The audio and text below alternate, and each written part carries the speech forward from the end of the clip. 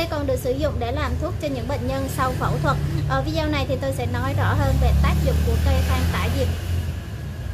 Cây phan tả diệp hay còn gọi là cây tiêm diệp, lá phan tả diệp thì được rất là nhiều người quan tâm sử dụng trong thời gian gần đây bởi vì nó có hai tác dụng chính, đó là hiệu quả điều trị táo bón và tác dụng giảm mỡ bụng rất là hiệu quả.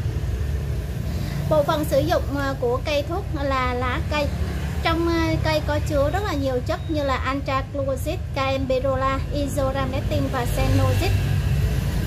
Theo kinh nghiệm dân gian thì cây phan tả diệp có vị hơi ngọt đắng, tính hàn, có tác dụng là giảm chướng bụng do táo bón lâu ngày.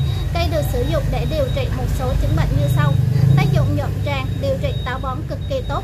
Tác dụng này thì đã được các nhà khoa học chứng minh và thử nghiệm rất là kỹ tác dụng tẩy ruột dùng cho những bệnh nhân ờ, sau phẫu thuật về đường ruột tác dụng hạ men gan lọc máu tẩy độc trong gan hỗ trợ điều trị ung thư gan và sơ gan.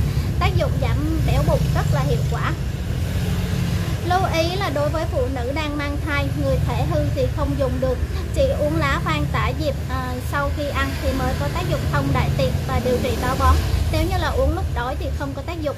Để à, điều trị cho trẻ nhỏ thì sử dụng bằng một nửa so với à, liều lượng của người lớn và chỉ nên cho trẻ sử dụng tối đa trong thời gian khoảng một tuần.